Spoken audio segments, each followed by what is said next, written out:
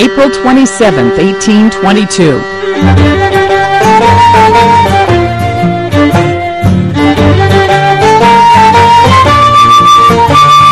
Ulysses S. Grant, the Civil War general who later served as president, is born in Point Pleasant, Ohio. Grant led Union forces during the war's final years, receiving the Confederate surrender at Appomattox. 1521, Portuguese explorer Ferdinand Magellan is killed in the Philippines, but Magellan's crew continues and ultimately completes the first circumnavigation of the globe.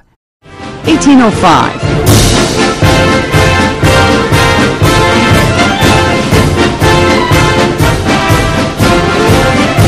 In North Africa, an attack during the First Barbary War that inspires the lyrics of a U.S. Marine Corps hymn. A force of Marines and mercenaries capture the city of Derna on the shores of Tripoli, now part of Libya.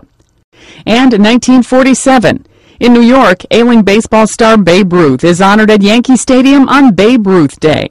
There's been so many lovely things said about me, and I'm glad that I've had the opportunity to thank everybody. Thank you. But Ruth's health continues to decline, and baseball's Sultan of Swat dies the following year. Today in history, April 27th, Sandy Kozel, The Associated Press.